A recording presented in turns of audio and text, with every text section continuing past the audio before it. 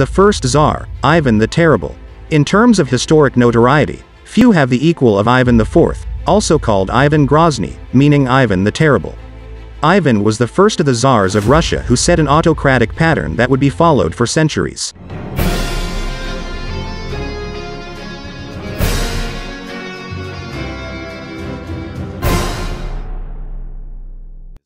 A dysfunctional childhood. The future Tsar was born as Ivan Vasilievich on August 25, 1530, near Moscow. The prince was the son of Vasily III the Grand Duke of Muscovy. Vasily died by the time Ivan was three, leaving his wife, Ivan's mother Elena Glinskaya in control of the throne. Elena, however, proved ineffective in the face of the powerful aristocrats, the boyars of Muscovy.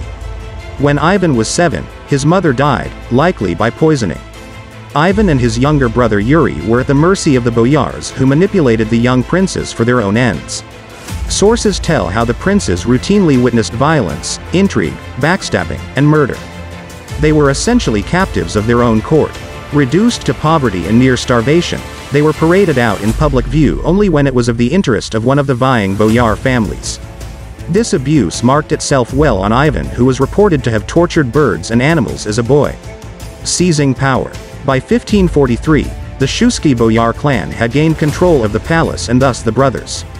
The head of the family, Prince Andrew Shuisky was particularly brutal, and Ivan loathed him.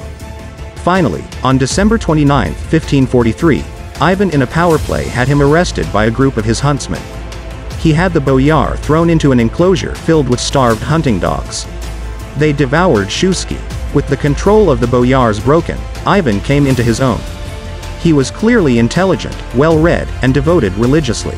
He looked to develop Muscovy in a way that would bring on par with other states during the Renaissance in the arts and literature. Rage. At the same time, Ivan was also exceedingly violent. Stories abound of him throwing cats and dogs from the walls of the Kremlin for pleasure. There are accounts of the young monarch riding with horsemen near the palace raping, robbing, and torturing at will. Much of this was driven by excessive drunkenness. Throughout his life, these incidents of drunken rage would be countered by brief respites of confession and penance. A Tsar is born. On January 16, 1547, Ivan took the title of Tsar, or Tsar, of the Russians. The title of Tsar is derived from the imperial Roman title of Caesar and is meant to connote emperor. Ivan saw himself in Russia as the inheritor of the Eastern Roman or Byzantine Empire that fell in 1453 to the Ottoman Turks. This was bolstered by being the only strong state that followed Orthodox Christianity. To solidify this lofty claim the new Tsar was coronated with the Monomakh cap, or golden cap, which was supposedly sent to Kiev by the Byzantine Emperor Constantine IX. This story is probably legendary with the cap's origins being from the Mogolian Golden Horde which had controlled Kievan Rus from the 13th to 15th centuries. Ivan set about cementing his rule by working to reduce the power of the boyars and reforming the Orthodox Church. He in effect centralized power into his own hands. Meanwhile, the Tsar set about an ambitious campaign of conquest from the Baltic to the Volga River. During his reign, he subdued the Khanates of Kazan, Astrakhan, and Siberia. In commemoration of his conquests of Kazan and Astrakhan, he ordered the building of the iconic St. Basil's Cathedral. Death and power. Shortly after Ivan's coronation, he married Anastasia Romanova who he selected out of up to 1,500 potential brides. She bore him six children. In 1560, the Tsaritsa fell ill and died. Ivan suspected she was poisoned by the boyars and a 2001 study did find evidence as such. The Tsar, filled with grief-fueled rage, became further committed to reducing the power of the boyars who had been his principal adversaries since childhood. In a moment of madness or shrewdness, he abdicated in December 1564 unless he was granted autocratic powers. The public cried for the Tsar's return and the aristocracy knew that to remove Ivan from power would result in the chaos of civil war. The ploy worked. The Terror.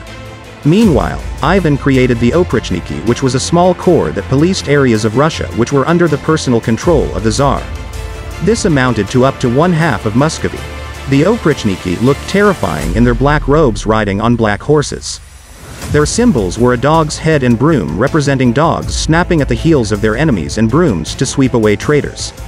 They answered only to the Tsar and tortured, mutilated, and executed at will. Ivan's brutal tactics continued until late in his reign. Upon suspicion of treason he had all the citizens of the towns of Novgorod and Pskov tortured and executed in 1570. Tsar Ivan's personal life was no less tumultuous. Since the death of Anastasia, he married seven more times, although that number is debated. None of them ended happily. Some were probably poisoned, three were sent to nunneries, another murdered, and another executed for infidelity. It has been reported that Ivan even proposed to Elizabeth I of England. Ivan's worst deed. Of all of Ivan's violent deeds, perhaps the most notorious is the death of his second eldest son, Ivan Ivanovich, the heir apparent. In 1581, the Tsar disliked the dress his son's wife was wearing and assaulted her. Ivan Ivanovich was forced to come to her aid. In the ensuing melee, the Tsar bashed his son on the head with his iron-tipped scepter which he employed in punishments. The Tsar, realizing what had happened immediately was filled with grief and tried to stop the bleeding. However, his son died days later. The Tsar himself would die of a stroke in March of 1584. Without a properly trained heir, Ivan was succeeded by his ineffective son, Fyodor. Upon Fyodor's death in 1598, Russia would enter a chaotic period known as the Time of Troubles. It is little wonder that Ivan earned the moniker the Terrible. Terrible for Ivan is defined in the traditional sense, powerful and dangerous. It makes sense that the communist dictator and strongman Joseph Stalin looked with admiration upon Ivan IV and identified with him. Quite the historic endorsement, but some have speculated that the Tsar was mentally ill. When considering Ivan the Terrible's childhood and upbringing, it is no great surprise. That's all for today. If you haven't subscribed to our channel please do subscribe and also click the notification bell, so you're always updated to Kuya Nin's amazing stories.